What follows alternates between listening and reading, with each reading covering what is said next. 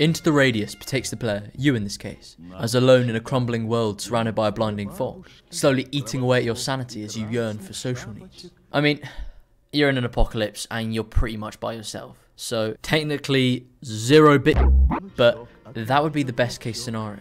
Truth be told, you're not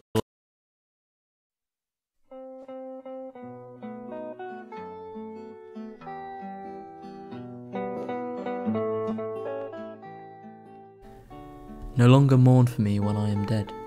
Then you shall hear the surely solemn bell give warning to the world that I am fled.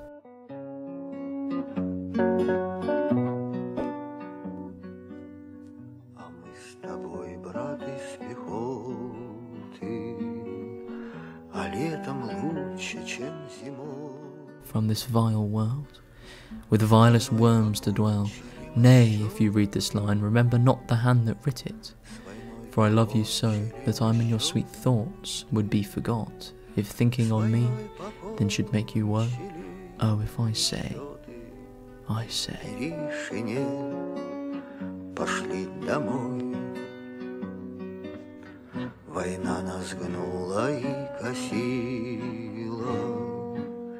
Пришел конец ей самой. You look upon this verse, when I perhaps compounded, I am with clay.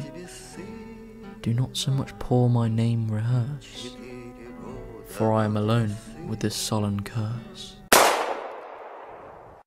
Although not being alone sounds good, it's, in this apocalypse at least, definitely not a good thing. Because the only company you have is monsters beyond recognition, which at any chance they would get, they would tear you limb from limb. And the only way to protect yourself is shitty guns, which was probably sold on eBay for some Robux without being pedicured properly. And I do like a good pedicured gun. Like no military grade shit, just like a shitty like Makarov.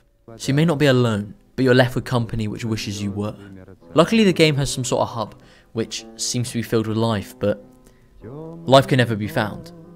So much so, all the shops are empty and have become automated using 3D printers and robots for medical care, making you feel if you're the sole survivor of the apocalypse.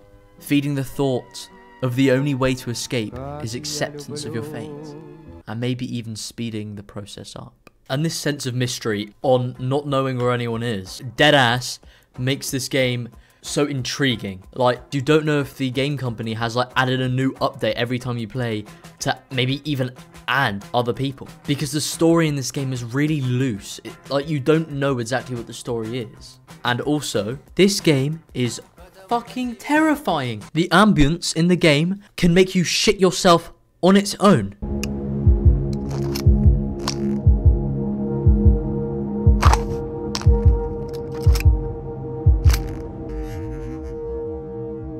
And you can literally hear children crying in the distance. And every time you go look to find the children, they're not there. Like, they're non existent. Literal insanity. Although it's completely terrifying, I mean, every time you hear a voice of another living human, it still kind of gives you hope, even though you hear it so commonly. You still feel hope, which, truth be told, is close to insanity. Now, this may not be accurate, nor may people agree with me, but I feel like the game represents the mental decay of the characters, as the game has so many outrightly insane things, like a hand bursting through a wall, with a cigarette in grasp, with a finger as a flame to light it. I'm not very educated in this field, but people can sometimes use cigarettes as an escape and a way to numb the pain. Yet, even in a world which is constantly out to end the character's physical being, is literally handing the character a way to numb the pain and help them get through it, which could be representing the character's slow descent into insanity and depression, as even though the cigarette is seen as a way to numb the pain in the short term, it still kills you in the long term. So seeing something so enlightening with a moment of pain, making the character feel happy is truthfully a descent towards the end, as the character keeps smoking, again and again, expecting shit to change. Yet it doesn't. It won't. It can't. And I know it's a VR game and it's done by your actions. I'm trying to do analysis from the possibilities within the game Because I know from playthrough to playthrough, some people aren't going to be smoking their fucking brains out every single second they got a hold of one.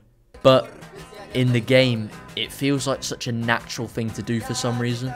It just feels like it's something you have to do. Making me truly believe what I'm saying. And make me believe that this is the best VR survival game. The world is corrupted. There's nowhere to turn, nowhere to go. As everything near you wants to kill you. I mean, some may say loneliness is worse than death. But that's for you to choose. You know when you breathe oxygen and it's like, then it's like, and you live? Oh, my mama, I be breathing.